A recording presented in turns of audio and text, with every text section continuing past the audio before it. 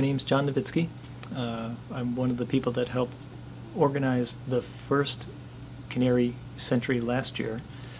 Um, and that's really my first involvement directly with the Canary Foundation. I've been a donor for several years.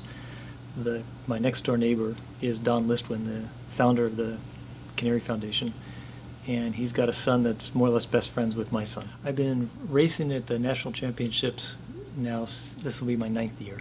Um, and before that, I was just a recreational cyclist.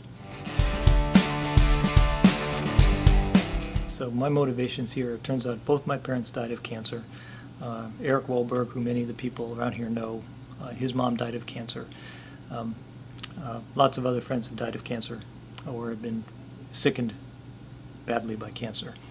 And, you know, the biggest way to improve the survival rate is early detection.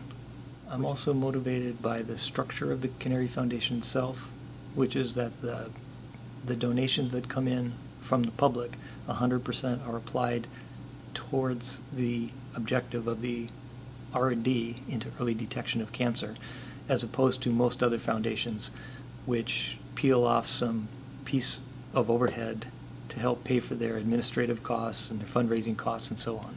And the costs are all paid for privately, not by the public. So the Cervelo Bicycle Company um, is also committed to the Canary Foundation and working with us on the, it, it really motivated by the cause. And in the first year that we did this, what they agreed to do was they brought last year the Cervelo test team, several other professional riders and a team car and so on, and just kind of spiced it up and made it fancy. Um, and then what they also did though too was they made uh, bicycles for us that um, were had custom paint jobs and things that you just can't buy. Now this bicycle in particular was one that they made, if you can see it's got the little canary logo on the head tube, which is something that's, you just can't buy these things.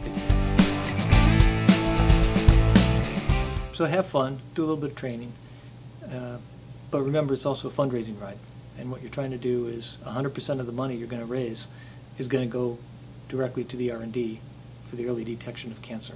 The camaraderie was so great. There's all these people out there together.